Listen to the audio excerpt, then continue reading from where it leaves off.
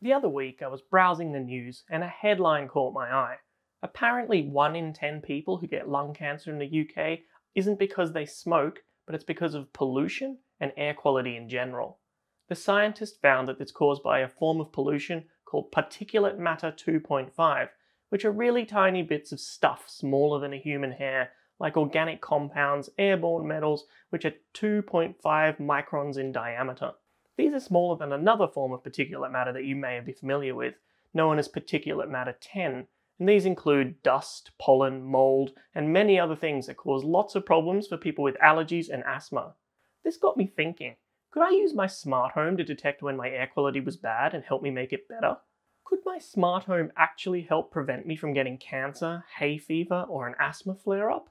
I did a bit of research and found that there are quite a few air quality smart home sensors available on the market, and they're actually pretty cheap. I ordered a couple of these to see how they actually worked and how accurate they might be. In this video, I'm going to take a deeper look into what these sensors can measure and why that's useful. I look at where you should place your sensors to get the best readings and how you can use these sensors to trigger automations to potentially improve your air quality. Let's take a look.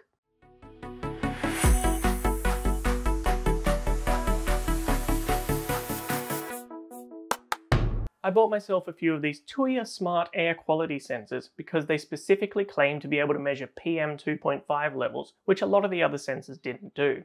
I bought the Zigbee version and I immediately hooked it up to Home Assistant using Zigbee to MQTT. It paired instantly and started giving me data points. Apparently it's also compatible with ZHA, and if you're not using Home Assistant, you could also set this up using the Tuya or Smart Life apps if you're using those instead. This sensor measures carbon dioxide, or CO2, formaldehyde, humidity, PM2.5, temperature, and general volatile organic compounds, also known as VOC. The first thing I wanted to do was to determine if this thing actually detected exposure to poor air quality, so I did a little bit of scientific testing. You can see that it immediately reacted to the changes I introduced in the air quality.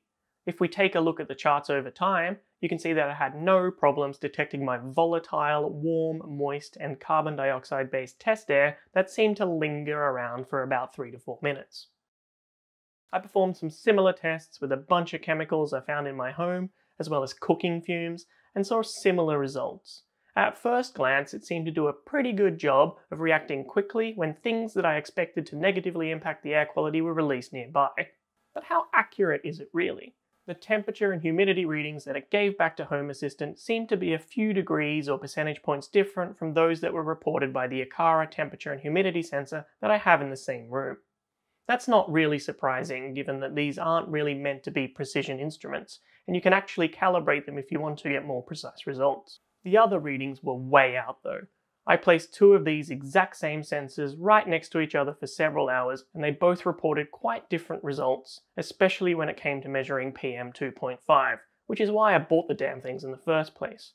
These two sensors barely ever moved and reported wildly different results. I found a really in-depth review of a similar sensor on the Smart Home Scene website. In that, they pulled apart the sensor to see what was inside and put it through a ton of different tests and paces, and they came up with a pretty similar opinion. Apparently the CO2 sensor in these isn't even a real CO2 sensor. It infers, which is a fancy word for guesses, what it thinks the CO2 levels are by using an algorithm and some of the other sensor data. The VOC sensor is apparently pretty good though. Basically, this is a cheap and inaccurate sensor, but it's probably good enough to show you directionally how the air quality is changing in your house, and you can use that to take action.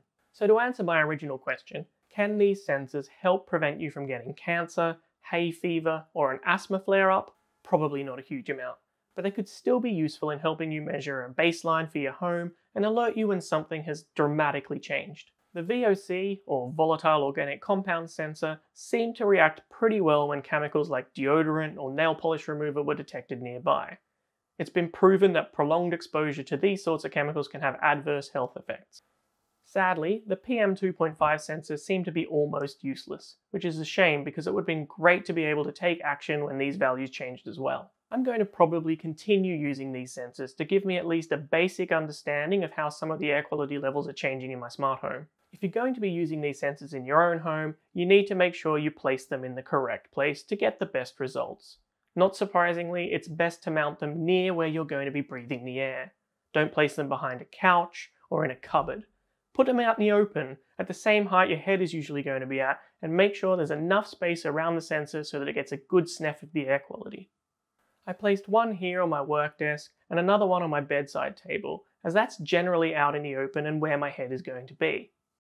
So how can you use these sensors to improve your air quality? Well, I've got a few automations set up in Home Assistant that flash some lights in a red color and send me a push notification when the air quality levels go significantly above their normal values in a particular room. I can then open a window for a few minutes until the air quality goes back to normal. Or in some cases, the air quality might be decreased because of something that's happening outside, especially in Australia during bushfire season. So in that case, close the window instead of opening it. If you have a fancy air purifying fan like this Dyson one, you could have it automatically turn on using an IR blaster, or if you're using an air conditioning system that has a HEPA filter built into it, you could turn that on instead.